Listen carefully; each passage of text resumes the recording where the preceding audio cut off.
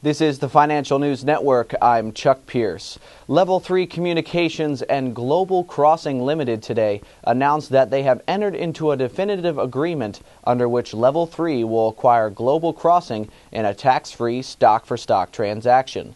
The combined company will operate a unique global services platform anchored by fiber optic networks on three continents, connected by extensive undersea facilities.